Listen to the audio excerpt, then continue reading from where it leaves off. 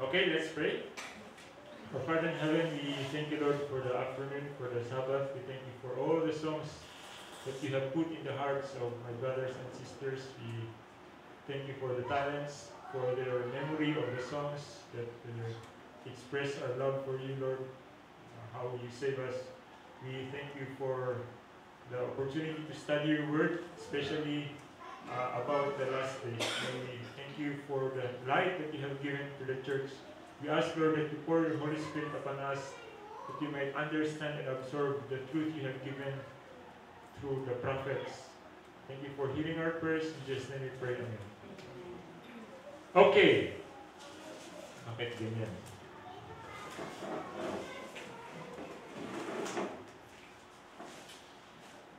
Yan. Ang nire-request ko na topic ng youth ay tungkol sa prophecy. At hindi naman ako marunong ng prophecy. Ang alam ko lang magbasa ng last day events. At nakikinig po ako sa mga discussion kanina ng break time. Talagang parang interesado kayo sa last day events. Lalo na po yung mga yung mga topics dito. So, ah una po, ipapakita ko yung outline. Ano ba pakita mo outline? Mali. Yata. Ayan. Sa outline po ng last day events, hindi naman actually yan tuloy-tuloy o dugsong-dugsong. Pero sinubukan nilang i-layout na parang dugsong-dugsong. Pero hindi naman eksakto yan pagkatapos nito, ito, pagkatapos nito, ito. Kasi may mga overlap ang sabi dyan. Hindi talaga actually natin alam kung anong mangyari. Pero meron tayong clue kung ano yung mga pwedeng maging arrangement. So more or less, uh, it is as accurate as uh, we can get. But it's nakasulat din po dito na hindi talaga natin alam kung ano yung sunod-sunod. So, maganda pong tingnan, uh, sa, mabilisan lang, Siyempre, pinakadulo uh, sa heaven. Jesus is coming, seven last plagues sa mga righteous, katulad ng uh, plague sa Egypt, yung mga sa righteous, hindi sila natamaan ng plagues. Yung seven last plagues na and the evil, sila yung natamaan ng plagues, katulad sa Egypt. Merong close of probation, So hindi pala ang problema natin kung kailan yung second coming. Ang problema natin kung kailan yung close of probation. Kasi pag close of probation, wala nang change sa court. Ay ang hindi natin alam kung kailan yon. Pero, nandyan yung Seal of God and Mark of the Beast. Ang gandang topic nito kasi ang dami kong kadibate sa Facebook nito. Hindi nila ma-differentiate yung 666 at saka yung Mark of the Beast. Tapos ayaw nilang paniwalaan yung mga ganun. Pero sabi rin ni Ellen G. White, hindi pa natin alam tungkol lahat sa Mark of the Beast. So, babasahin natin kung ano nakasulat dyan. And then, meron tayong tinatawag na loud cry. Titingnan natin ang characteristics ng loud cry para makita natin kung nangyayari na ba ito. At didiretsuhin ko na kayo mga kaibigan, tinignan ko yung characteristics nito. Palagay ko, sa aking assessment lang, sa aking observation, parang nangyayari na itong loud cry sa aking observation. Nandyan yung latter rain, yung latter rain na maramihan, at saka yung latter rain na individual, the shaking, tapos bago nun, yung last day deceptions, of course yung last day deceptions, talaga namang paulit-ulit yan. Simula pa ng unang panahon, maraming deception. Kaya gusto ko lagi sa unang sermon ko sa mga churches, laging fundamental beliefs nilalagay ko kasi yung last day deceptions, mga kakontradict yan ng mga beliefs na nasa Bible. And then we have the time of trouble, ito, medyo uh, mahirap. Hindi ko ito masyado naintindihan, pero babasahin lang natin. We have the Sunday laws, and then we have the cities. Ayan. Country living, magka-contrast yan, country living, tapos cities. Uh, kung kailan tayo tatakas galing sa city, nandyan din po nakalagay. Pero sinasabi rin dyan, huwag mo nang tatakas lahat ng tao sa city dahil kailangan ng gawain sa city. So may role kayo dito. Kami dun sa bundok, hinahabol na kami ng city. Di ba umakit na yung city sa pagiging ng DB?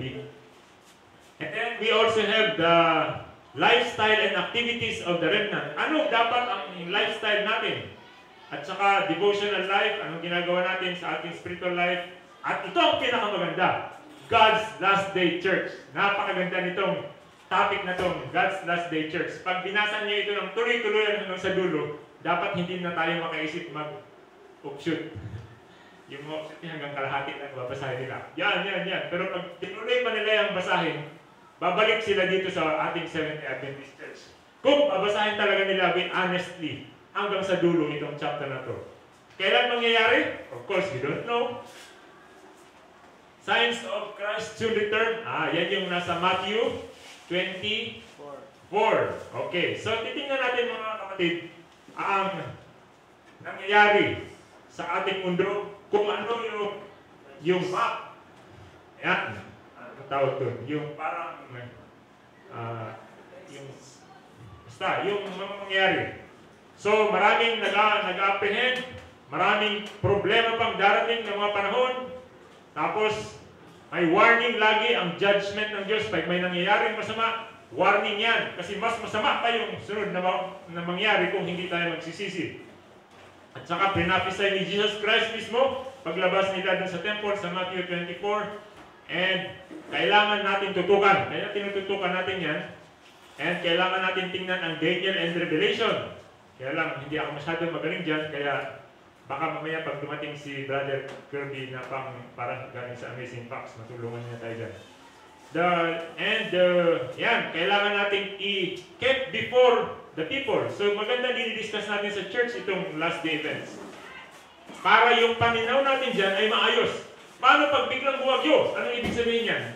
So, ibig sabihin yan, mas malapit na ang second coming. Paano pag may gera? Oh. And you shall hear wars and rumors of wars.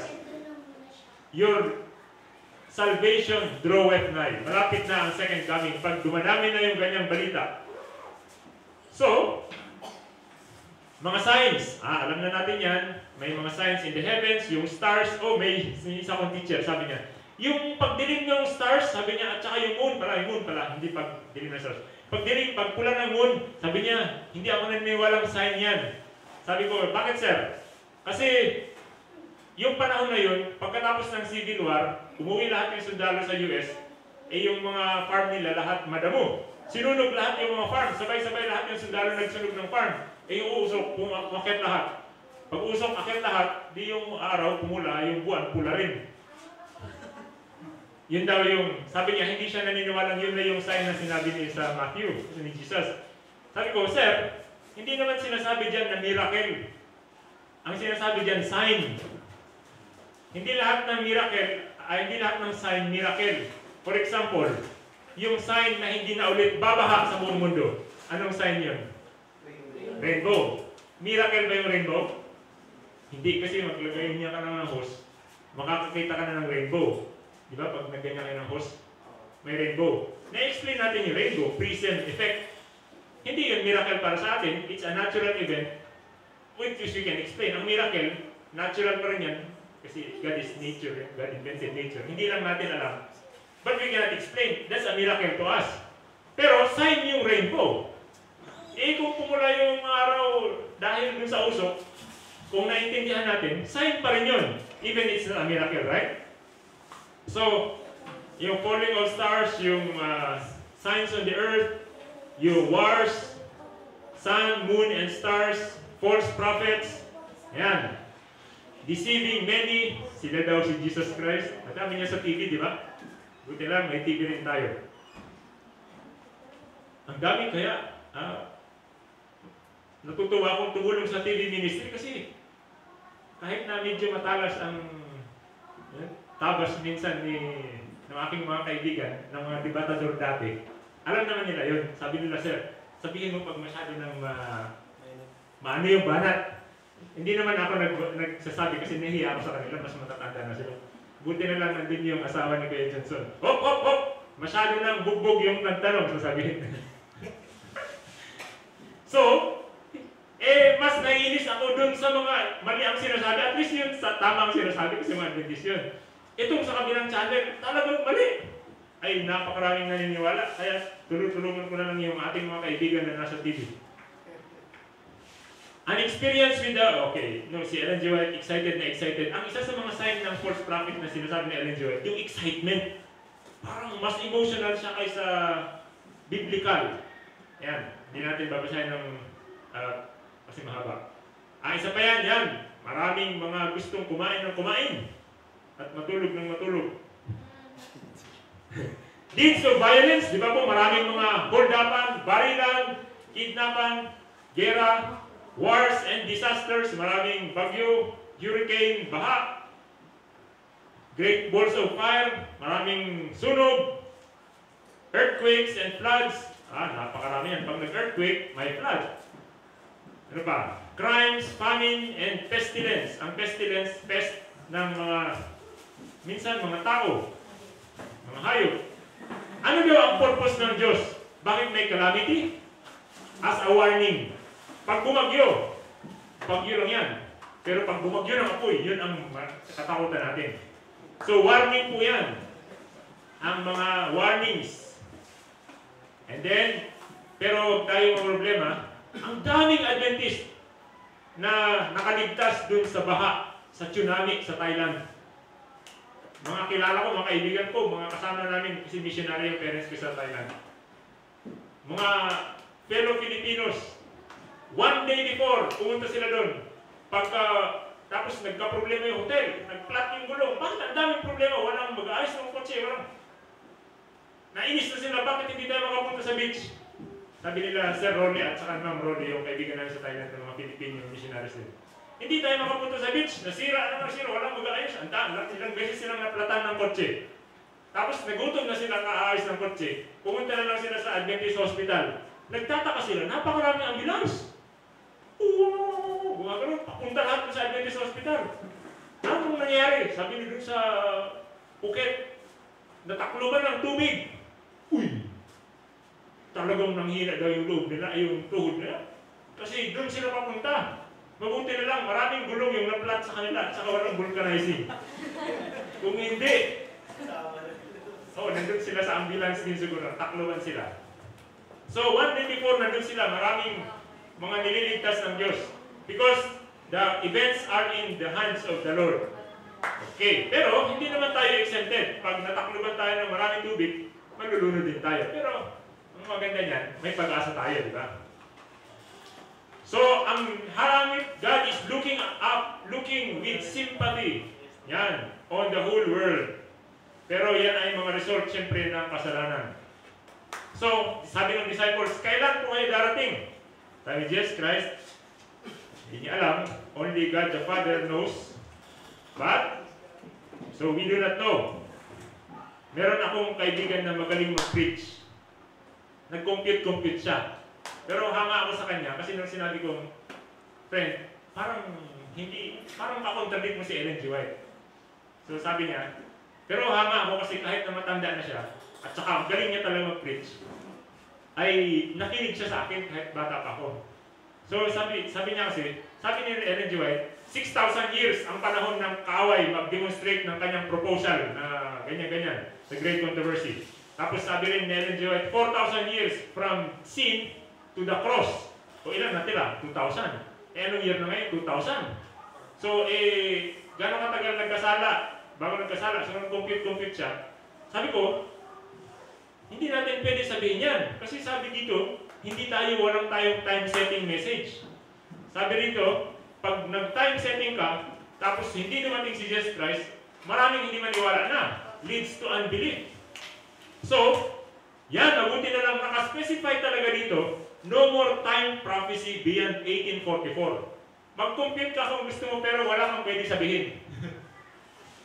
Hanggang 1844 lang, may prophecy pang iba, pero yung time prophecy, wala na daw according to our writings. So hanggang 1844, wala na tayong alam na dates na susunod. Yan ang nakasulat. Si, G- si Ellen White, ini-expect niya yung si Jesus Christ dumating. Bakit matagal dumating? Dahil naghihintay, hindi pa daw ready. Marami pang gusto ng Diyos maligtas, pero hindi pa nagsisisi. Mabuti naman, mahabagin, matagal talaga ang pasensya ng Diyos sa atin. Katulad ng mga, yan. So pag, eh bakit sabi naman ng isang tao sa Facebook, sabi ni Ellen White, ano, yung nakita niya sa vision, yung babae na yun, eh, sa second coming. Ay, ba't namatay na, you know, yung inuod na yung babae na yun, o yung tao na yun, sabi kasi ni, ni Ellen White, dito sa meeting na to, may mga taong uuudin, din, may mga taong makakarat, makikita si Jesus Christ dumarating. Eh, nangamatay na lahat sila, inuud na sila lahat, hindi pa dumating si Jesus Christ. So sabi nila, therefore, false prophet si Ellen G. White. Pero si Jesus, natatandaan natin, sinabi rin niya, na may mga tao dito na hindi mamamatay at makita si ang second coming, ang kingdom of God. Kaya lang, nangamatay na nga sila lahat. So, bakit nanging ganun? Eh, baka naman sabihin natin mali si Jesus, eh wala na tayong pag-asa. Yun lang ang ating pag-asa, di ba? Sino pang makabuhay sa atin? Ibig sabihin, yung ating pagkakaintindi, God's promises are conditional. Ayan. Okay, God is waiting for His church to change. Pero, kahit na mapasensya ang Diyos, ang may limit, pag napuno na ang cup, mabubuo na ang wrath of God sa buong mundo. And malapit na daw mapuno yung cup of wrath, of transgression. Kaya kailangan natin makita itong shortness of time. Yan, ito ang maganda class. Ah. Sorry, sorry. Ito ang maganda mga kapatid. Itong God's Last Day Church. Alam niyo, sabi niya, Naloko niyo ako. ah. Sabi sa book na Evangelism, less preaching, more teaching. Oh, di ba? Kaya okay lang kahit di mo mag-preach. Di ba, class? Teaching, more teaching naman eh. God's people keep His commandments. Ayan, Revelation 12:17. Meron siyang, uh, and they have the testimony of Jesus, which is of course the spirit of prophecy according to Revelation. Ang, ba, ang doctrine sila, lahat galing sa Bible. And hindi lang sila remnant, for remnant's sake, they are also, they have a mission. And ang mission, of course, is to call the world to Revelation 14. Bakit tayo inorganize? Kasi ang dami-dami natin. By the way, if you look at statistics, mas mabilis ang growth ng, ito sa mga tira dyan, very interesting. Mabilis ang growth, napakabilis ng growth ng Adventist Church before nag-organize. Pero nag-organize na, mabagal na. Pero kailangan talaga i-organize dahil pag hindi mo i-organize, magulo. The reason i-organize para hindi tayo ma-hijack ng mga nanggugulo ng organization. Kaya may mga hindi basta-basta pinagsasalita yung mga tao sa harap, lalo na pag nilis, sinulatan kayo ng conference na bawal pagsalita itong mga tao to, di ba? So, yung mga authorized lang ang pwede magsalita ng mga ano, mayroong, mayroong church board, mayroong nagkocontrol, may mga maraming officers, kaya organization will always be essential. Yan po ang light na binigay ng Diyos kay Sister White. Kaya tayo ay nag-organize. And the church has special authority, just as the Bible says, yung what you bound on earth will be bound in heaven. Di ba? Sa Bible. But, hindi tayo perfect church. May mga panahon na we are spiritually weak. There is time of spiritual weakness and blindness. And sometimes, ito, gustong-gustong basahin ng mga offshoot. Itong sasabihin ni Ellen White, there is a time of spiritual weak and blindness, abuse in power of church headquarters. Kaya lang huwag kayong titigil doon. Basahin, sabihin natin, babasahin mo yung kalugsong yan. Huwag kang titigil dyan. Pag tumigil ka yan, talagang ayaw mo na dito sa Adventist Church. Pero huwag tayong titigil dyan. Ano pa dyan nakalagay dyan? Yung leaders daw na minsan, unwise leaders, do not speak for God. So pwede magkaroon ng leaders na mali ang sinasabi. Pero, sabi ni Sister White, hindi kailangan ng bagong denomination. Huwag tayong magtatayo ng kung anong denomination. Kasi, yan ang pinakitang light ng Diyos kay Sister White. Yan ang maganda, friends. Kahit na maraming mali, talagang hindi naman tayo perfect eh. Kahit na marami tayong nakikitang mali o chismis, ang napakagandang promise ng Diyos is God will set everything in order. Hindi ito ang GC President magsiset. Ang Diyos ang mag-aayos ng lahat ng mga bagay. Napakaganda ito. Because God is at the head of the work and He will set everything in order. Kung kailangan i-adjust ang leaders at the head of the work, God will adjust and work to right every wrong. So, walang problema. We have nothing to fear because God is at the head of the work. Ano pa? Kaya maganda mag-distribution urge. Ilan ang Vice President ng Seventh Adventist Church? 13. Di ba? Ilan ang divisions? Dami. Ang daming officers. Bakit? Kasi sabi ng Diyos kay Ellen G. White, maraming officers dapat. para hindi lang isa yung nag-iisip, maraming nag-iisip. Kaya rin hindi tayo gumagawa ng doctrines na hindi pinagbubutuhan ng lahat ng mga representative ng gawain sa buong mundo. Yun yung General Conference in session. So, yan yung mga uh, guidelines. So, nung nagkakagulo na sila noong 1901, nag-respond positively yung General Conference kay Sister Roy. Alam niyo mga kapatid, ang leaders may sariling desisyon. Pero ang prophet ng Diyos, nagbibigay ng counsel. Pag sumunod yung leader sa prophet ng Diyos, nagsasaksi ng gawain. Pag hindi sila sumunod, ganyan, sa tingnan niyo sa Kings. Kwento ng Israel, kwento ng Israel. Pag hindi sumusunod, bumabagsak sila. Kaya yung General Conference ay nag-agree kay Ellen. White and Ellen. White reaffirmed the confidence in the SDA organization. Ito yung hindi nakakarating dito yung options sa kababasa. Babasahin lang nila yung dun sa taas kanina, yung mga problema. Tapos may solution silang sarili. Pero, ang nakalagay dito, si Ellen. White, reaffirm confidence on the SDA organization. And, sabi rin, agree rin si yung anak niya, si William C. White. And, pero, kahit na wala tayong problema, kailangan pa rin natin ng revival. Yan. Kailangan pa rin natin na i-review, i-educate. Because God is very patient with us. Okay.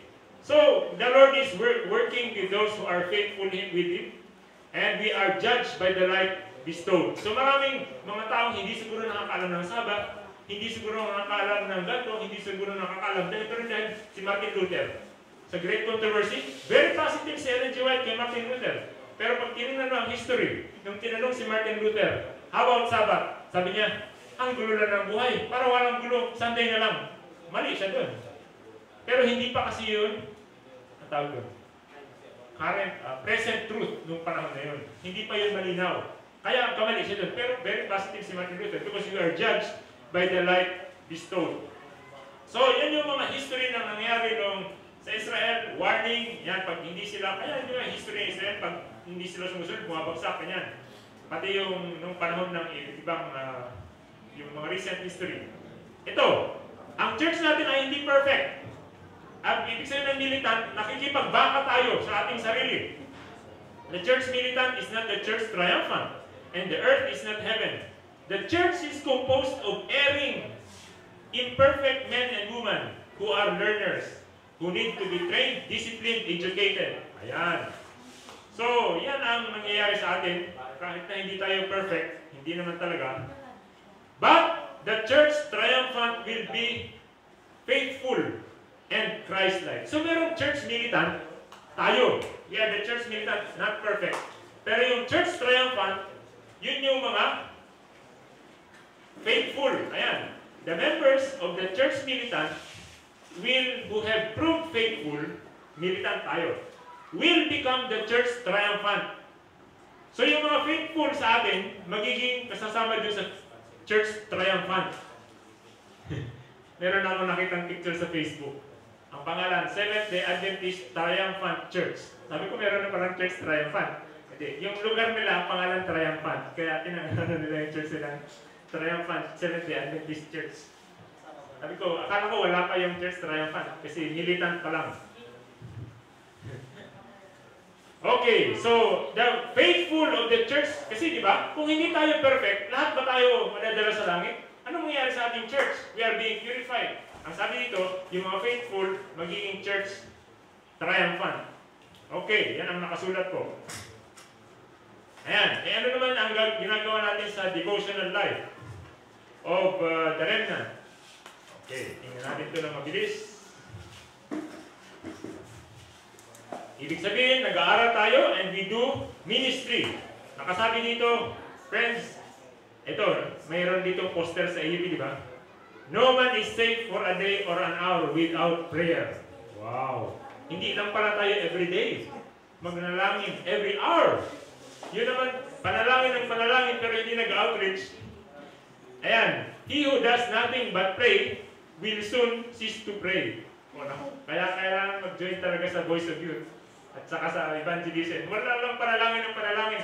Yung mga Pharisees, panalangin sila ng panalangin, fasting sila ng fasting, study sila ng study ng Bible, pero hindi sila nag-evangelism. Pinersikip nila yung evangelist. Di ba? Si Jesus Christ. Kailangan twofold. Aral, refill ng spiritual strength, tapos i-share sa iba. Firmly rooted in Christ. So, kailangan talaga ito pag-overcome ng mga problema natin spiritually. And, of course, molded by the Holy Spirit. Napaka-importante ng Holy Spirit in the last days. And, kailangan natin ng Bible study. Alam niyo mga kaibigan, tingko lang dito konti sa Holy Spirit. Yung aking kaibigan dati na tinutulungan ko, sabi niya, Sir, pag nag-preach ako, parang may nararamdaman ako mainit. Siguro Holy Spirit. Sabi ko, ano kaya yun? Ang ngayon ko lang narinig yun. Sabi niya, pabayaan ko lang. Eh, yung mga Bereans, di? Pag-observe ka, check mo sa Bible kung totoo. Tapos, ganun. Eh, may narinig din ako mga missionary. Sabi na nung pinanalangin ko yung anak ko, biglang, ano, parang may mainit na power na gumana. Sabi ko, ano kaya yun? Tapos minsan, nananalangin kami sa, alam niyo kung bakit gusto kong tumulo sa kapitulo versikulo pag nananalangin kami sa recording, talagang may nararamdaman akong init na ano, presensya. Lalo na pag yung topic namin yung Holy Spirit. Tapos, sa PYC rin, pag nananalangin kami doon, talagang yun, sabi ko ano kaya yun.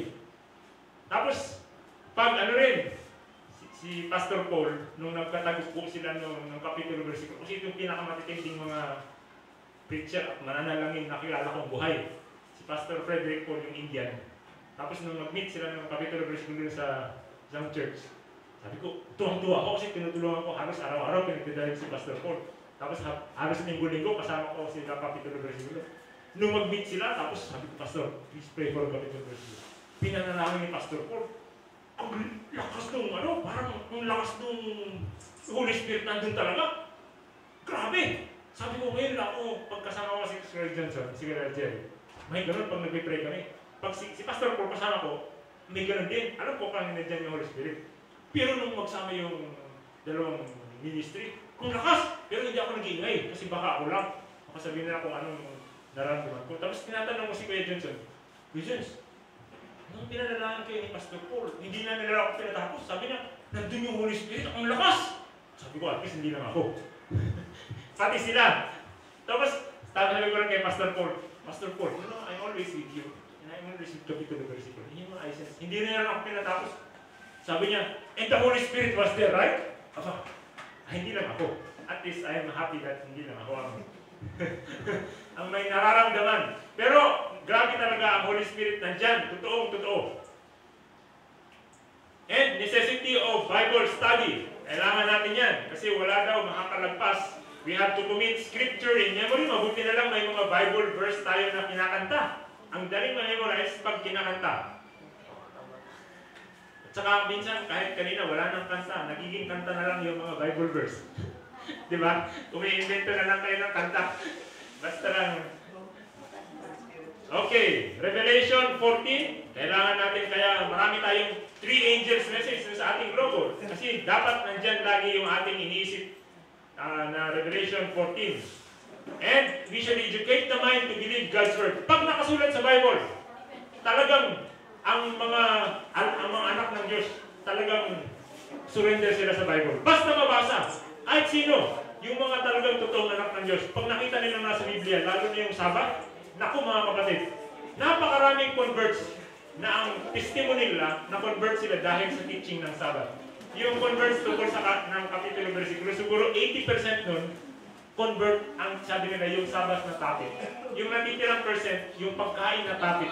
Yung pinakamahihirap na topic, yun ang pinakamaraming na convert. Ang explanation, sabi ko, bakit ganun? Akala ko dapat we should talk about grace, God's love, ganto.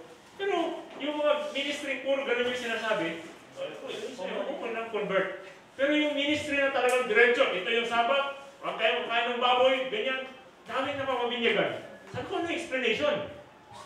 Nakita ko yung explanation sa Psalm 19.7 yata yun. Thy law,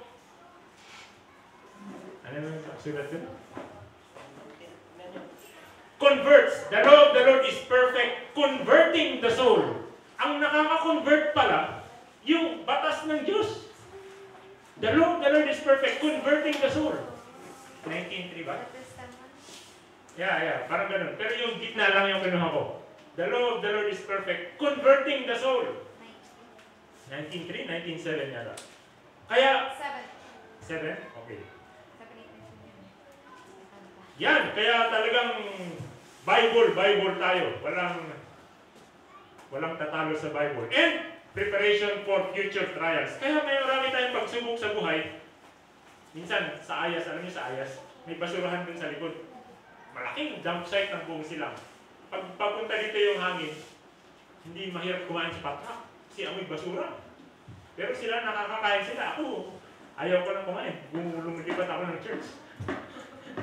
Kasi hindi ako sanay. Sabi ko sa God, siguro sinasanay sila ng Diyos ng maraming trials, may tapon sila dun sa basurahan later. yung ating mga kapatid, yung mga scholar ng church.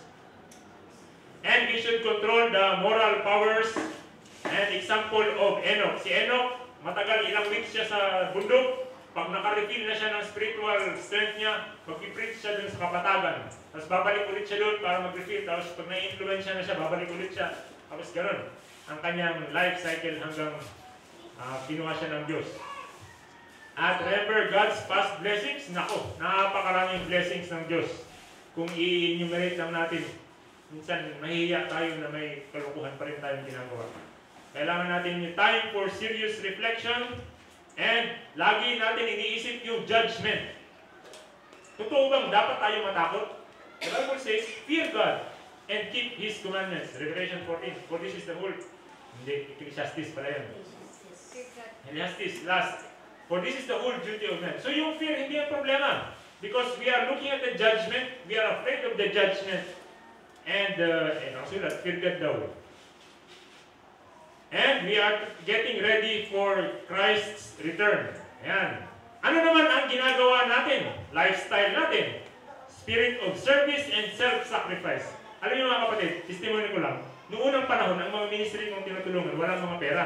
So ako nagpapakain, ako nagagasolina, ako nag-toll gate, o lahat. Pero ang daming nangyaring mir- miracles. Kaya walang, may kasabihan din sa, sa Christian service na pag nakipag-deal ka sa Panginoon, wala kang kalubihan. Kasi binabalik lahat. Pero ngayon, lahat na sila, yan, may pang may pamasahe, may pang may pang galing sa PIC. Tapos dun pa sa church, minsan nagbibigay pa. Wala nang nangyayaring miracle. Eh kasi marami ng pera eh.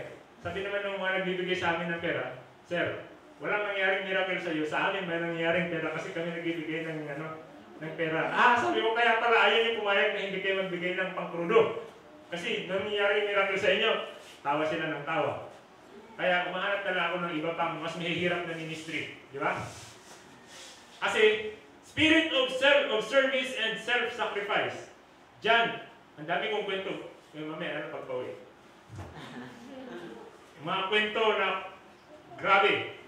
Pag grabe yung tulong din natin. Pag inubos na talaga natin ang time natin, ang energy natin, ang pera natin, ang influence natin, and sabi ni Jesus Christ, occupy till I come. Kaya tayo ay may mga trabaho. Ako, computer teacher. Kunyari teacher lang pero sinisermonan ko sila sa class. As if each day might be our last. Yan! Conscientious Sabbath observance. Tapos na yan. Kaninang umaga, binanatan ko na kayo dyan. Di ba? Sabi sa Bible, if you guard the edges of the Sabbath, mas mahigpit actually ang Bible. Sabi ng Bible, if you, ah, wag niyong i-discuss yung mga bagay na you do not, ah, ano sabi doon? If you count the Sabbath a delight, di ba? Ang nakakatawa dun, ang, naka, ang interesting dun, friends, you should count the Sabbath as, uh, you should, count, the Sabbath should be a delight, di ba? Pero dun sa same verse, nakasabi dun, you should not do your own pleasure. Paano magiging delight sa atin na we are not doing our own pleasure? Dalawang beses na sinabi, do not do your own pleasure. Isang beses sinabi, you should have, you should uh, treat it as a delight. Di ba? Minsan, doon tayo pinofocus sa delight, dapat masaya. So, kahit anong gawin natin, basta masaya. Pero nakalagay doon sa same verse, isang should be a delight, dalawang should not be your own pleasure. Uh, so, we should delight on the Lord. Delight in obeying the Lord. Ayan. Ayan, syempre, the necessities, the sick must be cared for. Ayan, okay. Kasi si Jesus Christ also healed the sick if there are doctors and nurses, sabi sa Spirit of Prophecy, yung income nyo ng Sabat, hindi nyo pwedeng gamitin sa sarili nyo. Dapat pang-ministry nyo yan o kaya i-offering nyo. Kasi hindi yun sa inyo. Kahit na binayaran kayo sa pag-alaga ng pasyente, hindi yun sa inyo. Pang-ministry nyo yun. And also faithful and tithes and offerings. Alam niyo mga kapatid, hindi nagkukulang ang sa aking observation sa lahat ng ministries, hindi nagkukulang ang pera sa ministry. Ang nagkukulang mga faithful na mga minister. Alam niyo kung bakit ko na naisip yun? Tingnan niyo yung 3ABN. Di ba?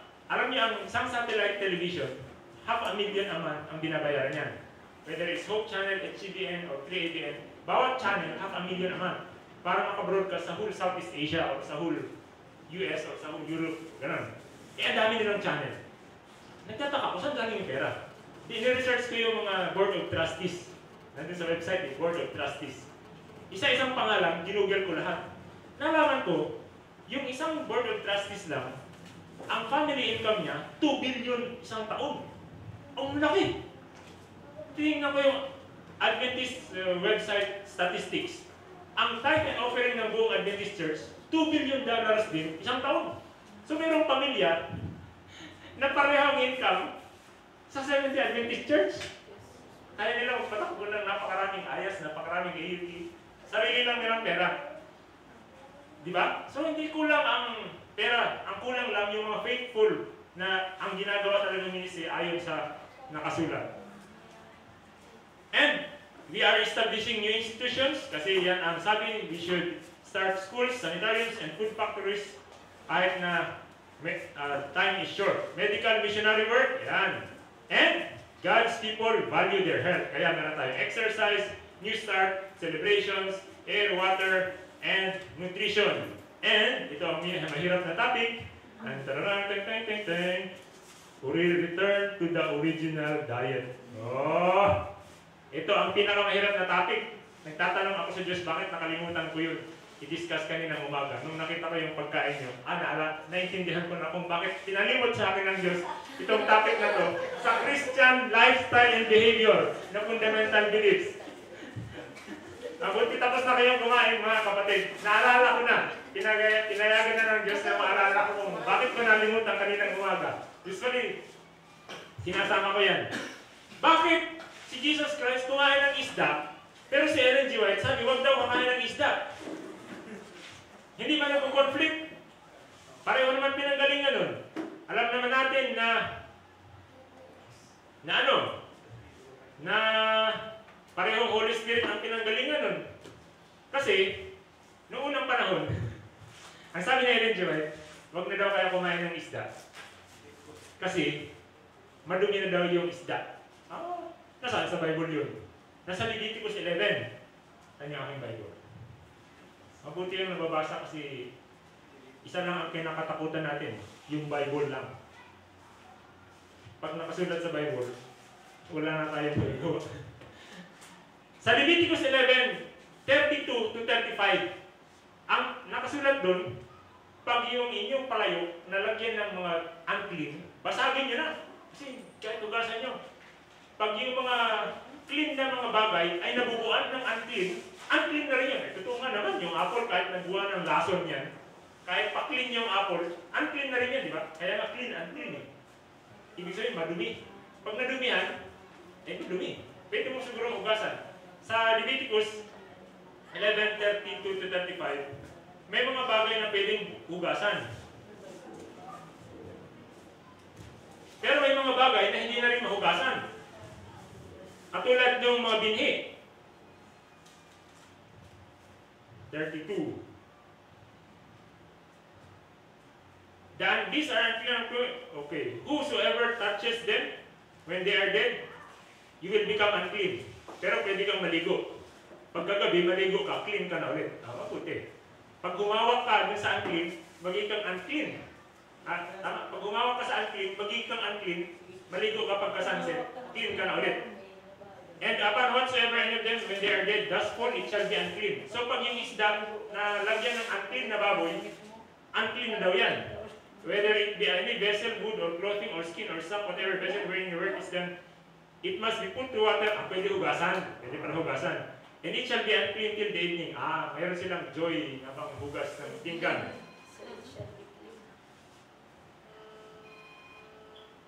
Pakisagot nga ito, ano? Excuse.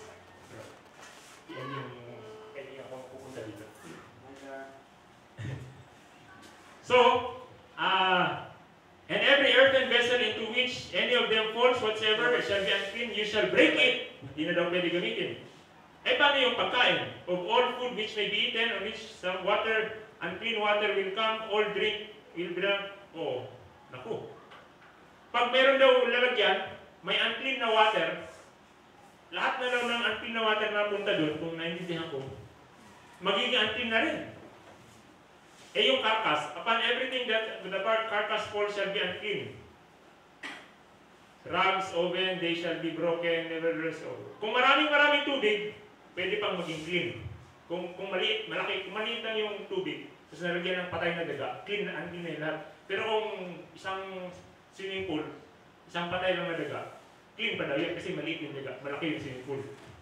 Yun ang mga sulat eh, no?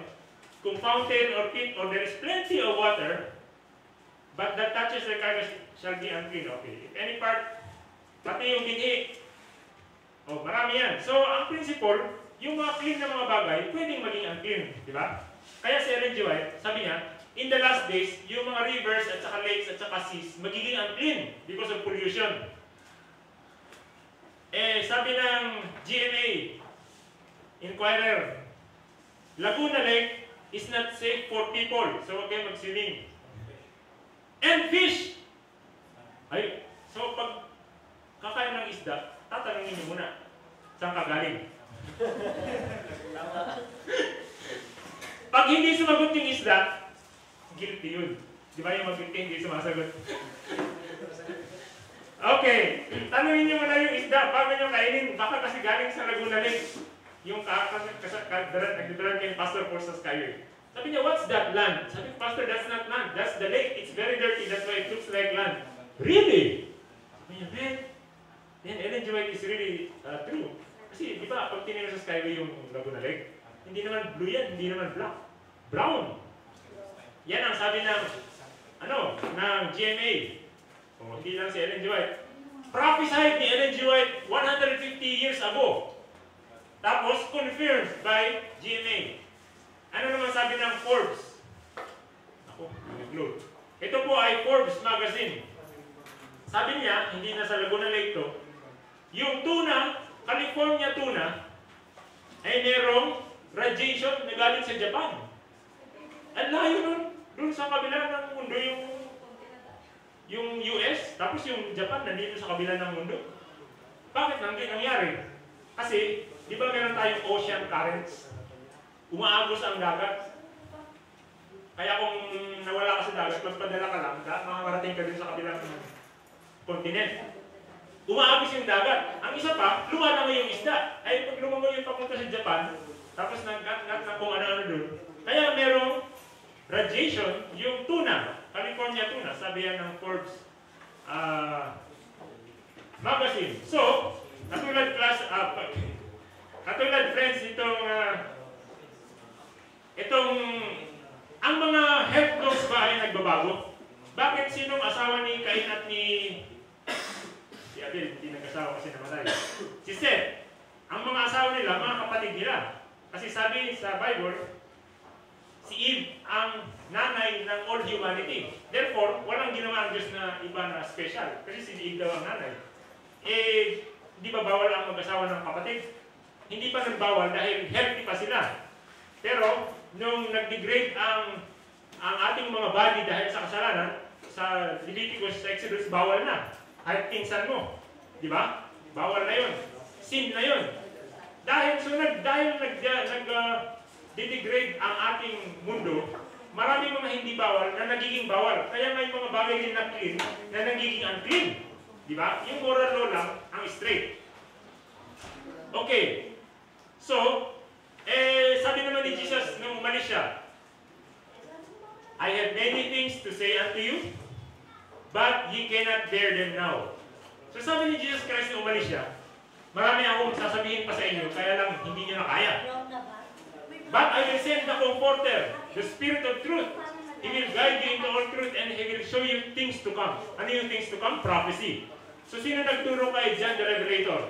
Ang Holy Spirit. Sino nagturo mag-prophesy tungkol sa fish at saka sa flesh food kay Ellen G. White? Ang Holy Spirit. Sabi ni Jesus Christ, I will send the Holy Spirit to teach you all things, all truth.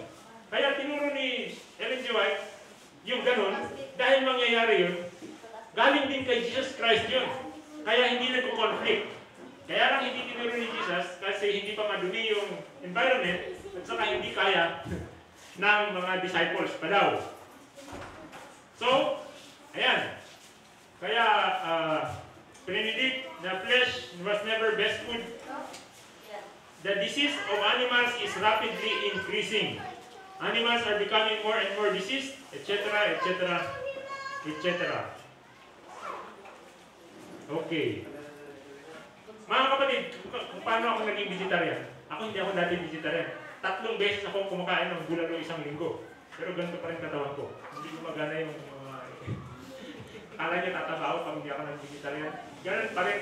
Hindi gumagana. Pero, pinapanalangin ko po lagi for wisdom and understanding. Lord, please give me wisdom and understanding. Wisdom and halos araw-araw simula pa ng bata ako. Wisdom and understanding. Tapos, nung pumunta ako sa Thailand, ang mura ng manok dun. Parang 30 pesos lang yung isang whole na chicken. Ang mura! Parang 30 o 40 pesos. Whole chicken na yun. Luto na pati. Nakatali na sa styrofoam, tapos may balot. Tapos, sumakit yung aking dibdib. Akala ko may sakit ako sa puso. Sabi ko, nandito naman yung parents ko. Susubukan kong maglaro ng tennis buong araw. Kung mamatay ako, at least may clinic lang dyan. Sinubukan ko mag-tennis buong araw. Hindi naman ako namatay. Sabi ko, mali yata yung aking diagnosis, yung observation ko sa sarili ko. Hindi yata ito sakit sa puso. Nung nag-research pa ako sa Google, hindi lang pala sakit sa puso ang nakakasakit ng dibdib. Minsan, pag tumulog ka sa sahig na hindi maganda yung posisyon mo, sasakit din yung dibdib mo. And yung mga pinsan namin nandun sa room, mga pinsan namin mga girls, kaming dalawang lalaki, nasa labas, eh, alam niya akong haba-haba ko, hindi ako makasya sa folding bed. Kaya ganun yung nangyari. Pero simula nun, sabi ko, boring kasi maging hindi vegetarian. Lahat ng tao kaya kumain ng isda. Alam ko na lasa niya. May challenge. Challenge ko sarili ko. Dapat hindi ako ma, mag-vegetarian ako. Hindi ko desisyon yan. Experiment lang. Ah, kasi pag desisyon, sasabihin ko, oh, ba't huwag ka mo ganyan, ganyan. Pag experiment lang, papabayaan ka lang, nag-experiment ka pala. eh. So hanggang ngayon, nag-experiment lang. hindi naman ako vegetarian. Ayaw ko lang kumain doon. O, di ba? Ano ang problema? Kaya ko kumain yan, pwede ako kumain. Ayaw ko lang. Eh kung ayaw ko, pipilitin niyo ba ako? Di ba? Pinakamahirap mag-vegetarian sa loob ng Adventist Church. Nakakahiya kasi sa mga brethren. Pero alam kong may takot sila sa Diyos. Pag sinabi ko, meron po bang makakain si Shadrach, Meshach, and Abednego? Hindi na masumpatan. Okay. So nandiyan yung about Laguna, about ganyan, ganyan, ganyan. Kaya sinasabi dito sa last events na we, God is, uh, okay, yung di ko, lifestyle and activities of the remnant, they will return to the original diet. Hindi lang ang pag-vegetarian ay pagtatanggal lang ng mga flesh foods. Kailangan natin ng education. Papaano palitan? Hindi lang yan, the mere removal. We have to study how to prepare nutritious and palatable. Kaya, kasabay ng sumbat, dapat turo kung paano magluto, paano mamalengke. Sabi ng kaibigan ko, sir, mahirap mag-vegetarian kasi yung palengke hindi rin vegetarian eh. so, depende yan sa palengke. Hindi. You have, kahit, sa langit, kahit sa, kahit sa Garden of Eden, kailangan pa rin mamili ng pagkain. May temptation pa rin sa Garden of Eden. Kung mga kapatid, sa langit, malalaki ang manok doon. Ang mga isda doon, malalaki. Walang pollution. Ay, alam na, habulin natin yung mamingit pa tayo sa langit. Huwag yung sabihin, maraming vegetarian, maraming, maraming hindi vegetarian sa langit. Anong kakainin nila doon? Ang lalaki ng mga, mga pabo, mga manok, mga usa. Baka Sawa, sawa siya. mga quail. Okay, so, ang devotional li- ang lifestyle and activities of the remnant return to the original diet daw. And kailangan ng time for fasting and prayer. and entire trust in God. Kaya maraming pagsubok dahil pampalakas yan ng pananampalataya. Kailangan natin ng family worship. Yan. May nag-worship pa ba dito sa atin? Ng family worship? Sometimes maganda yung makulit din yung magulang natin, no? Kahit matulog tayo, kising na, worship na, worship na. Kahit nagko-computer tayo, oh, baba kayo nito, worship, worship. Minsan nakakainis pero nakasulat pala yun dyan. Guard association with the world. Kaya hindi tayo basta-basta nakikipagkaibigan. Sabi dun sa book na Messages to Young People, we are social to save. Nakikipaghalubilo tayo para sa kaligtasan nila. Hindi para tayo ma-influensyahan. Kasi sabi dyan, we should guard our association with the world. And hindi tayo naglalaro ng mga bagay na hindi ina-approve ng Diyos. Recreation. Katulad ng, anong recreation? Wrestling. Boxing. Mga ganyan. Yung mga nakakasakit. Pero may mga innocent naman na recreation. Halimbawa, sa basketball, lahat kayo may bola.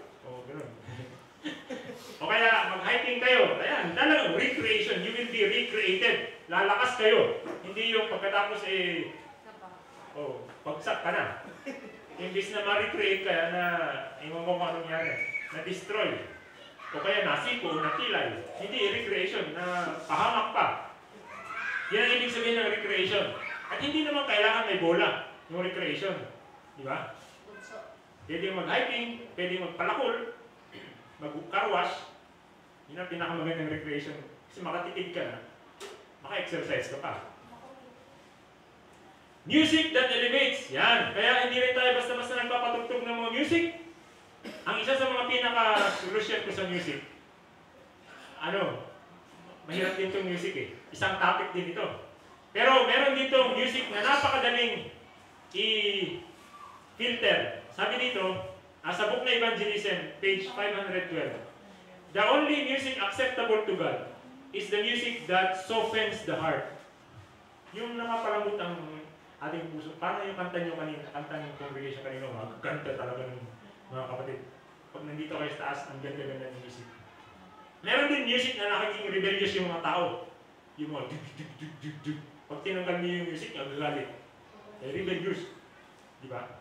Bakit nagagalit? Kasi idol nila yun eh. Pag tinanggal niya idol, magagalit. Kaya iingatan natin yung mga music. Kasi sabi sa book na evangelism, yung mga Sabbath keepers, maraming iniisip na music na sabi daw nila, wala daw problema yun. Pero sabi sa book na evangelism, merong association sa word. Halimbawa, pag narinig yung music, maisip niyo yung ganun, maisip niyo yung ganun. So yung association ang problema doon. Anong naaalala natin pag nakakarinig tayo ng ganun na music? Okay. Ayan, hindi naman daw lahat ng musical instruments ay dapat tanggalin. Kasi may mga taong sabi, dapat walang musical instruments. E sa langit may harp, may trumpet, di ba? Si Lucifer may drum dun sa langit. Pero si Lucifer yun. At saka hindi yun, ah, sa akin palagay, hindi yun drum na instrument. Kasi sabi, yung tablet ni Lucifer, it was put in him. Eh, na, kung nasa loob, in, in him eh. Yung, in, so hindi siya external. Kaya minsan, dito sa church, bawal ang combo. Di ba? Eh, na-imagine nyo ba magdala ng combo dito? Hindi. Talagang magwawala yung Adventist. Lalo na sa Pilipinas. Pero minsan, nandun sa MP3 yung combo. Di ba? Minsan hindi natin nabantayan. Bakit parang, parang combo yun ah? Bakit bawal yung... So, minsan babayan, babantayan din natin yun sa MP3 ng combo. Baka may combo dun sa MP3. Doon pumapasok sa MP3. Yan, okay. Television and theater. Ah, kaya yung TV nyo, ilock nyo na sa ano, huwag nyo nang ilipat, doon lang sa Hope Channel. Buti na lang ngayon, tatlo na, di ba? Sa digital. Hope Channel 3ABN, saka 3AB at Hope Channel International. Kung meron kayong digital na TV. Theater, ayan. Kaya bawal sa mga tao sa EP yung sisinin. Di ba? Yung, paano yung DVD? Saka yung YouTube? Ay, pagbawal nyo na lang sa sarili ninyo. Whatsoever is true, yan, Philippians 4. Na nandiyan na naman yung dress and adornment, pero nakita niyo na kanina yung dress. Kaya, bukas o mamayang gabi, may ukay-ukay dun sa, di ba? dress and adornments, and uh, ano pa ba? Need for publications. Kailangan natin mag-VOP lesson, mamigay ng VOP lessons, glow lesson, at saka mga papers. Pero wag daw natin aatakihin sa mga ating mga papel, yung mga ah, ibang ibang region. And beware of side issues. Ano ibig sabihin itong side issues? Minsan may mga discuss, gumagawa ng mga mapa at kung ano-ano na hindi naman nakasulat dun. Hindi naman official na position ng church. Yun yung mga sinasabing side issues. Kaya pag may mga nagtuturo, siguraduhin natin na merong at least vote ng GC in session. Mga kaibigan, kahit sasabihin ko sa inyo straight, kahit yung church documents natin minsan, hindi tama dun sa vote ng GC session. Ang pinaka nakikita ko, pinaka pure talaga, yung minutes ng GC session. Walang conflict sa Bible. Pero minsan yung ibang guidelines, ibang ganyan, minsan kahit yung ibang mga manual, may mga bagay na hindi masyado pareho. Sabi ng kaibigan ko sa DRI, okay, we have to address those things. Alam niyo kung bakit? Because this is the church militant. Sabi din, we are not perfect, di ba? Pero sabi dyan, God will set everything in order. So pag may nakita kayong medyo malayo sa Bible, relax lang. God will set everything in order. Huwag kayong kuhanap ng ibang church. Wala na kayong makikita. Mas biblical pa na church. Kahit hindi tayo perfect, wala nang ibang best, most biblical na church. Pero hindi nga tayo perfect. But God will set everything in order. Kailangan natin i-exercise yung ating trust in the Lord. Faith. Kasi, ang kasalanan po ba ay problema natin? Actually, mas problema pa yan ng Diyos eh. Kasi hindi man tayo namatay sa cross eh. Kung ayaw ng sisi, ano ngayon, bala sila. Pero si Jesus Christ, siya ang namatay sa cross. So, mas problema niya yan.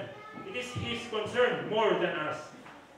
So, we emphasize unity and not differences. Meron tayong beliefs, fundamental beliefs na pinirmahan natin dun sa ating baptismal vow. Paano ngayon kung may, meron tayong critic? Ah, tinamahan ako nito kanina, friends, nung binabasa ko. Dami kasing tao sa Facebook. Ayaw maniwala, ayaw maniwala. Hindi ko alam kung bakit. Yung pala, dinidistract lang pala tayo nun. Sabi dito, maraming tao hindi talaga maniwala. Huwag ka nang mag-abala dun sa mga yun. Kasi talagang dinidistract ka niyan. Parang yung gumagawa na sila na himayan ng gumagawa ng pader. Ang daming nagdidistract sa kanila. Pero tuloy-tuloy pa rin silang gumawa ng pader. Because we have a important work, a high standard. Ipakita lang natin na the Holy Spirit and Jesus and angels are with us and it will tell, it will reach the hearts of the opposers. Okay, hindi pala natin tutukan yung mga critics. And we should exalt the Bible. Ang Bible talaga, friends, napakakapangyarihan. Naririnig-rinig ko yan, pero nung attend ako ng IAS Theological Forum ng Africans, doon ko talaga nakita ang kapangyarihan ng salita ng Diyos. Nakakabago ng mga tao. Country living, ayan, maganda yan. If you have a tiny uh, place in the country, yun yung mag pinakamaganda. Pero, mas ini-encourage tayong doon na tayo tumira. Pero, huwag muna kayong lilipat. Ito, kailangan, huwag muna kayong lilipat agad. Basahin natin ang buo yung chapter. Kasi pag bigla kayong lilipat agad, hindi kayo binasa yung chapter, baka bumalik kayo ulit. Cities, yan daw, yung mga city daw, you were galing sa outpost. Kaya pala lahat ng Adventist schools, nandun sa bundok. Di ba? Yung Pasay, bundok pa yan dati, kaya lang yung city dumating. Tapos Baesa, bundok yan dati, kaya lang yung city dumating. Yung AUP, nandun na naman, bundok pa yan dati, ngayon bundok pa rin. Pero, andun, pandun na yung Nubali, yung may mall sa harap ng AUP, buti na lang, walang laman. So, kaya lahat, sinusundan kasi ng leaders natin yung mga nakasulat sa writings natin. And, ah, bakit? Kasi maganda doon. Libre aircon, di ba? Hindi bumaba. Mas less ang temptation. Ten times daw marami yung temptation sa city. At saka, yan, pwede ka mag-jogging na mag-jogging na hindi mo maamoy yung lagunal eh. So, nakita ko may nag-jogging dun sa C6. Eh, nasa loob na kami ng sakyan. Sabi, nagkaka-jogging sila dyan? Eh, sabi ko, nasanay na yung mga yan. Di ba? Yung ano dyan. And, magtanim ng sarili. Kasi, pag we cannot buy and sell, eh, may kamote pa tayo, di ba? Kamote. And, yung mga institution daw natin sa labas lang ng city. Ah. Yan, may example and so on. Pero, friends, may nakalagay din dito na ano? Yan, sinong mga nag-start ng city? Si Cain. Kaya, mapangit, maraming kasamaan sa city, maraming nagiinuman, maraming masama talaga. And maraming judgment na dumarating sa city. Bakit maraming judgment? Kasi maraming kasamaan nangyayari sa mga city. Maraming mga building ang magigiba. Katulad sa New York, etc., etc., other wicked cities. Ito pa, may mga labor union. Yung, hindi pala, kaya pala tinagabawal sa Adventist institutions. Yung labor union. Yung employee, mga grupo nyo. Kaya pala bawal sa amin. Kasi nakalagay din sa last day events, itong labor unions na to will be source of trouble for Adventists. Hindi ko alam kung anong ibig sabihin. Pero sa ibang nakasulat dyan, yung mga tao daw na nagbawa, nag, ah, kung ano anong ginagawa dyan, possessed daw sila ng evil spirit. Nakasulat dyan. Okay. Pero marami marami sa cities na nangangailangan ng liwanag. Kaya huwag kayo aalis agad. Magpiprepare lang tayo ng plan natin pag-alis. Ang sabi po dito ay kailangan ng mga manggagawa sa mga cities. Kayo po yun. Ang sabi rin po dito ay huwag kayo agad lahat lalabas sa city. Kasi kailangan dyan ng mga school, kailangan dyan ng mga taong mga magiging liwanag sa mga cities. Kailangan ng school, churches, restaurants, kailangan sa mga city. Huwag kayo magpatay ng Starbucks. Kasi nakasulat ngayon yung Starbucks Philips natin yung coffee. Huwag. Vegetarian restaurant ang pwede itayo. Yan. Yan. Ato po nakasulat. Precipitous moves to the city at to the country. At huwag tayong sabay-sabay lilipat sa city. Hindi yan advice. Although sinasabi country living, pero huwag lahat tatakas. May panahon para dyan. Ito, kailan tayo lahat tatakas from the city? May panahon po ito, may important ito sa inyo kasi kayo nasa city. The time is not far distant when, like the early disciples, we shall be forced to seek a refuge in desolate and solitary places. As the siege in Jerusalem by the Roman armies was the signal for flight to Judean Christians, so the assumption of the power on the part of the nation in the decree enforcing the papal Sabbath. Pag may decree ng Sunday law, yun ay warning It will be then the time to leave the large cities. Ayun po. Yung panahon nila, umapag, yung desolation, pag pinalibutan na daw, tumakbo na daw, huwag na kunin yung joke coat o yung chinelas. At pag nagkaroon ng decree ng enforcing the papal Sabbath, yun na yung warning, it will be the time to leave the cities preparatory to leaving the smaller ones for retired homes in secluded places among the mountains. Okay, yan po yung yung uh, warning sa atin. Some righteous still in the cities after the death decree has been passed. Okay, meron pang gawain doon. Palagay ko yung mga colportor ko yun. Ano naman itong Sunday law? Ah, okay.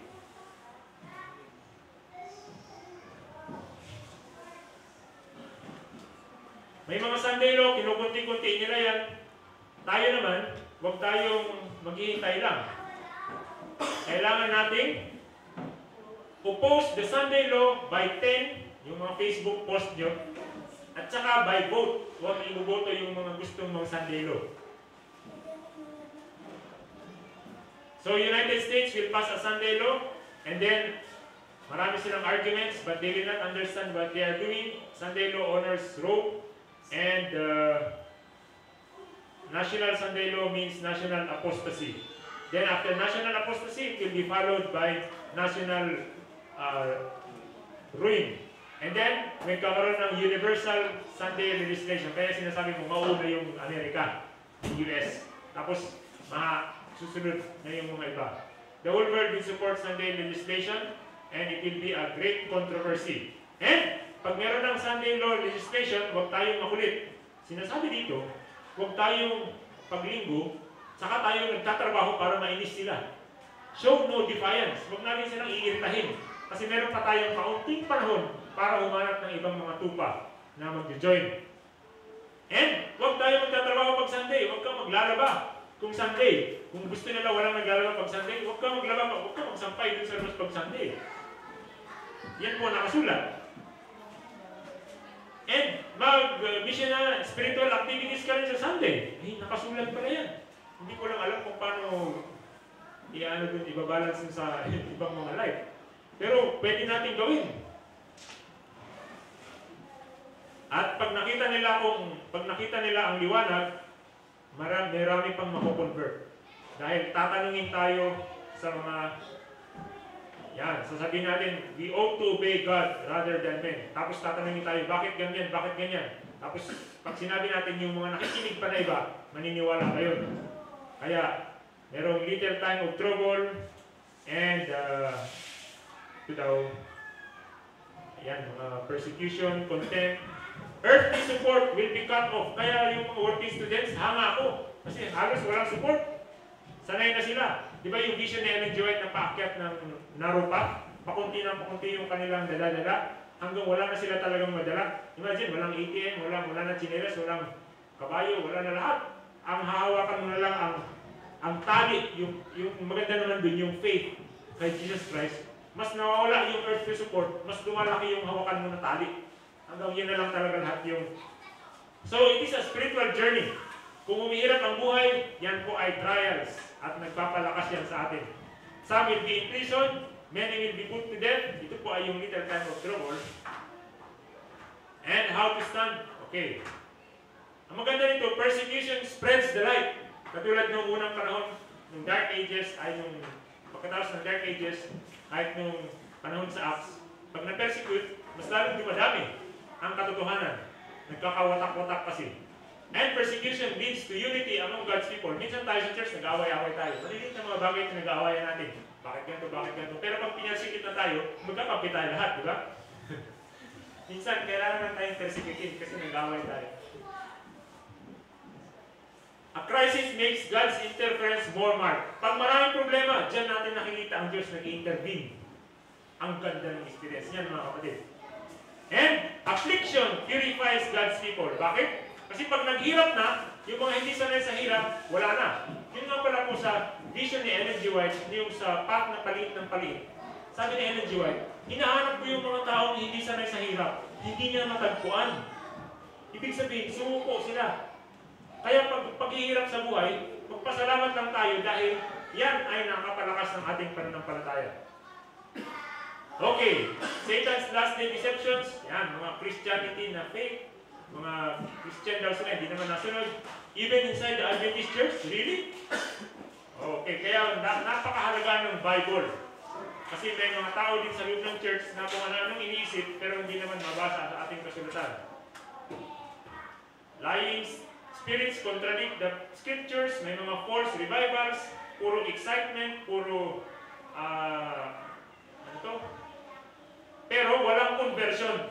Paano natin malalaman kung totoo yung revival? Mayroong nagbabago. May, may nag-give up ng mga kanilang mga idols. Music, problema na naman yung music. Merong ingay. Pag maingay yung music, ah, kailangan natin mag-ingat. Sinusubukan ko dati tanggalin lahat talaga yung music na masama sa church. Hindi ko magawa. Kasi nakasulat pala dito, meron talaga nun hanggang sa dulo ng panahon. hindi ko matatanggal. Hindi natin matatanggal lahat. Kasi nandiyan, no? It will be demonstrated. There will be shouting.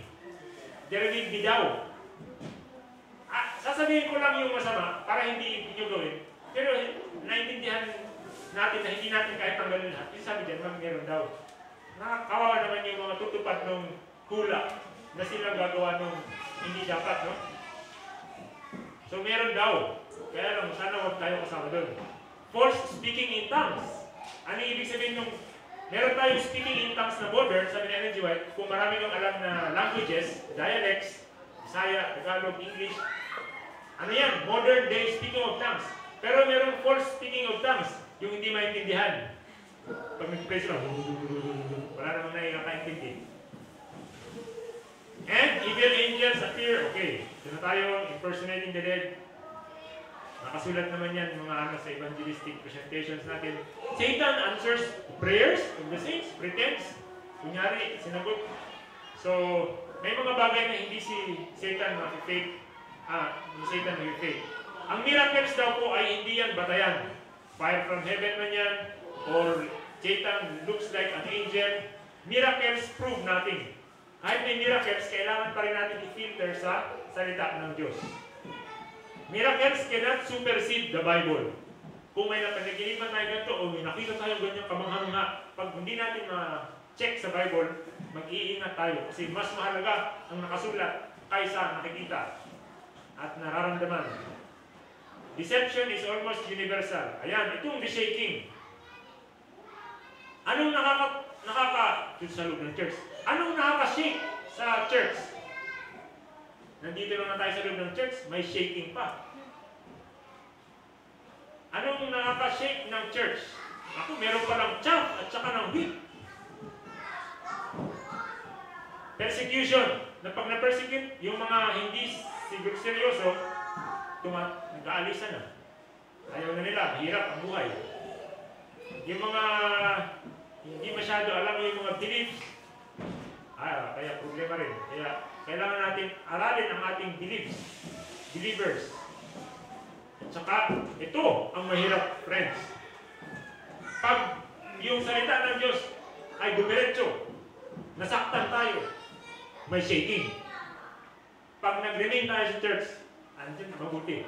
Pero pag umalis tayo, problema. Because the straight testimony produces a shaking. Yan. Ang problema, pag hindi daw naniwala sa testimonies, ah, pag sobra naman yung criticism, marami rin mawala. Okay, huwag mong banatan masyado. Pakita yung solusyon. Pag mali yung tinuturo, marami rin manliligaw. Ito, friends, ang malaking kailangan natin malaman. Pag hindi daw tayo naniniwala sa spirit of prophecy, dahil meron tayong mga idol, either pagkain, music, damit, kung ano man yan, hindi tayo naniniwala sa spirit of prophecy. Later daw, pati yung Bible, hindi na natin dahil mas yung ating idol kaysa sa Bible. Basahin natin.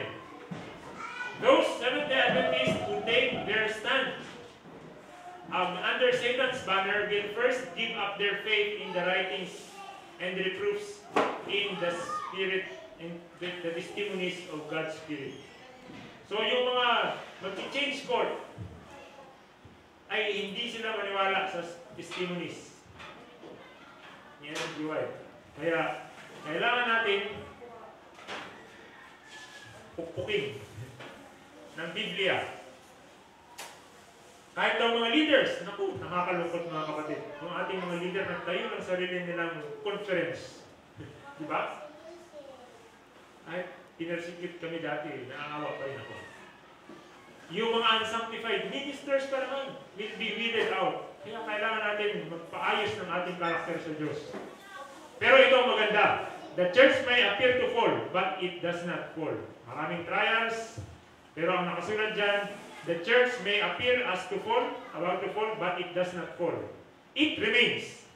Ano yung umalis? The sinners in Zion will be sifted out. So, ang ibig sabihin, yung mga lumalabas, eh, kung ito lang babasahin natin, inaamin nilang sinners in Zion sila. Ayan, no? Sino yung lumalabas sa church? Yung mga sinners, ayaw nila magbayad ng tithe. Magawa na lang sila ng sarili nilang church doon. Diba? The sinners in Zion. So, hindi ang lalabas yung mga matuwid. Ang lumalabas yung ayaw sumunod. According to this sentence.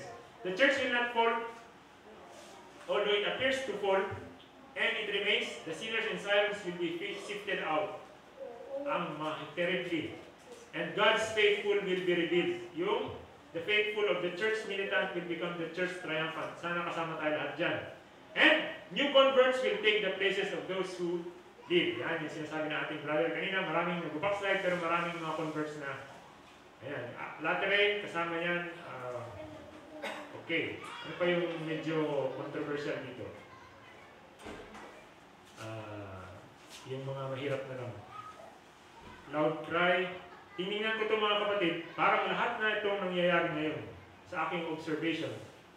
Although, ewan ko sa inyong observation, nag-observe lang naman ako. With great power, like 1844, like the Pentecost, God will employ agencies that will surprise us. Ah, sabi ko nga po sa inyo, sila kayo Johnson, yung isa ko pang binibigyan, sila kayo Jun. Mga hindi nakatapos ng college, pero ginagamit ng Diyos. Mga simple mga tao, tricycle driver. Pero daming pamabinyag. Nag-record lang na sa akin ng maraming sermon. Because they are qualified by the Holy Spirit. Kahit yung mga pastor kong kaibigan sabi nila, that man is anointed by God to preach. You should help him. So, God uses even the illiterate, kahit yung hindi mga nakatapos ng college, pag nabuhusan ng Espiritu ng Diyos ay ginagamit. And worldwide extent of proclamation. Ang mga videos na binibidyo ko mga kapatid, nakaka, may viewer ako sa Iraq, sa Afghanistan, sa Uzbekistan, mga war countries, sa Somalia, ay wala tayong papunta rin na pamasahe. Pero yung videos natin, merong nanonood doon. At daming nag-message. Yan po ang mga nangyayari. Eh, ang problema, many Adventists, pag may nakita liwanag, ayaw, umiilag. Umiilag sa liwanag. Pero maraming mga hindi nag hindi Adventist, ang daming hindi maniniwala dahil nalo- naloko sila ng away. Pero marami rin ang maniniwala. Multitudes will answer the call. Praise the Lord. Nasa prophecy. And thousands will be converted in a day. Totoo yan o hindi? Totoo na yan ngayon. 3,000 every day in the Seventh-day Adventist Church by God's grace. Yung mga honest in heart, hindi na magtatagal ay mag-join na sa ating church. Kailangan ng mga printing press, mga literature evangelists, kasi malaki ang influence niya. Ano yung seal of God? Of course, it's the Sabbath. Ano yung mark of the beast? Tanungin muna natin alin yung beast. Yun yung may set, yung may heels, yung nag-persecute, yung namatay, uh, muntik na mamatay, pero lumakas ulit, yung nandun, yung mga horn, yung mga ganun. Pag na-identify natin yung beast, ma-identify natin yung mark. Sabi nila, yung mark nila yung Sunday. Okay. Sabi ng ibang tao kasi, hindi yan yung mark of the beast. Sabi ko, alin ba yung beast? Ah, ito, pareho yung beast. Pag pareho yung beast, madali na lang makintindi yung mark, di ba?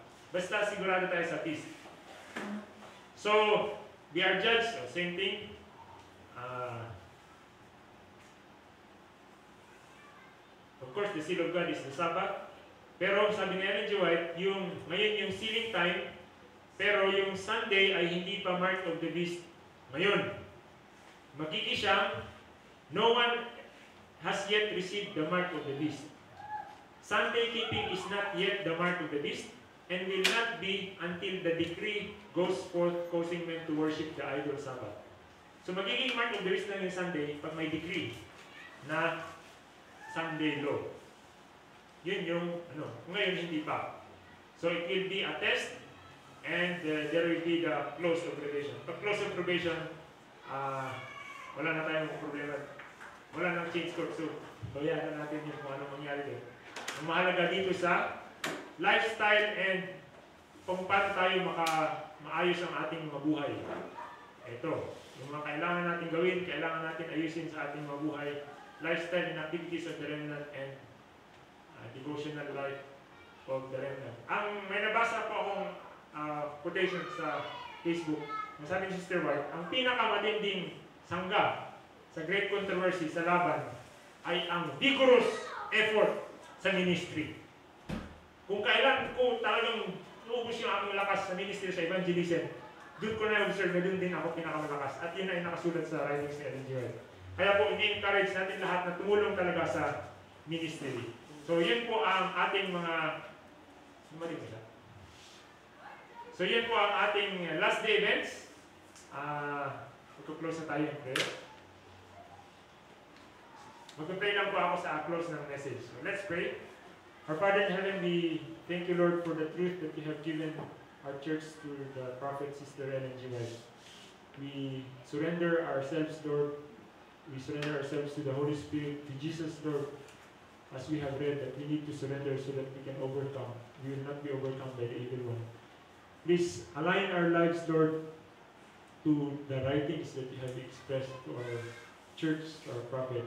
We see, Lord, that we many things in our lives need to be fixed.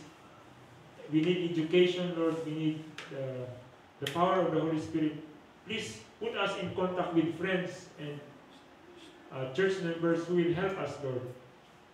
Fill our lives, Lord, with influences of good influence towards righteousness. We cannot fix ourselves, Lord. We are hopeless in our own. But you are God of multi of thousands of ways to save us, Lord. We ask for the Holy Spirit, Lord, to guide us every day in our small decisions and large decisions. We thank you for the plan of salvation, for the promise of the power of the Holy Spirit, for the promise of overcoming everything in our way. Thank you for giving your life, Lord, and for this salvation that we can share to others. Thank you for hearing our prayers. In Jesus' name we pray. Amen.